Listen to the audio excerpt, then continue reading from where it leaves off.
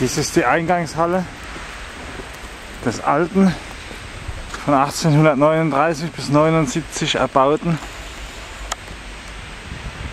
Anhalter Bahnhof.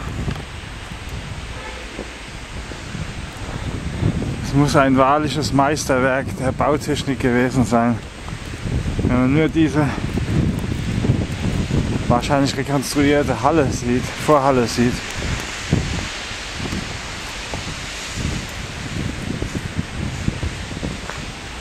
Zweiten Weltkrieg zerstört.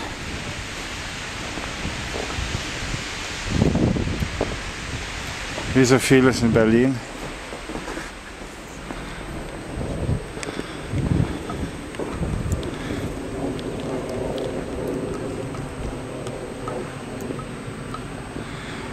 Wie so vieles in Berlin wurde er beinahe vollkommen zerstört oder man kann sagen vollkommen zerstört. Er steht als Mahnmal für den, gegen den Krieg.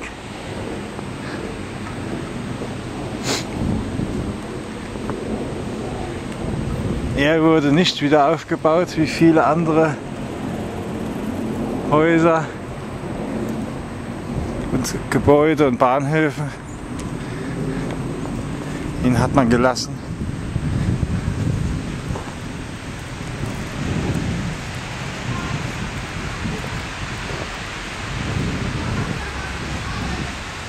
Ihn hat man gelassen, wie er ist. Trotzdem bis heute noch sehenswert.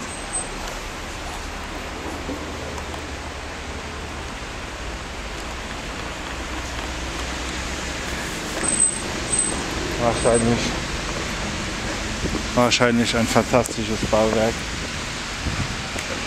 das verloren ging.